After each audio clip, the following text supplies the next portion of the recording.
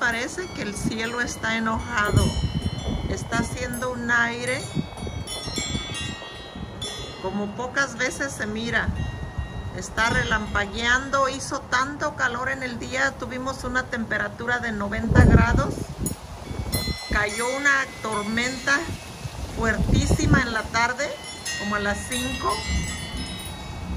Ahora está tronando el cielo tanto. Y el aire, miren.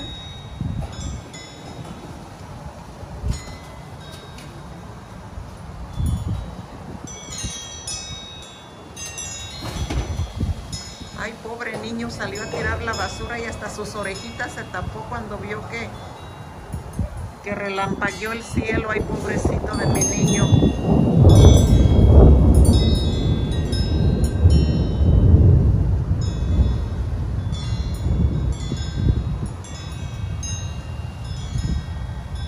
México yo sé que es muy normal escuchar esta clase de truenos, pero aquí, créanme que aquí eso, aquí no se mira eso, no se escucha.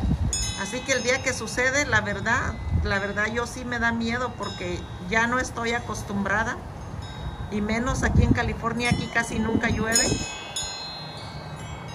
Y ahorita estar ese viento así de fuerte.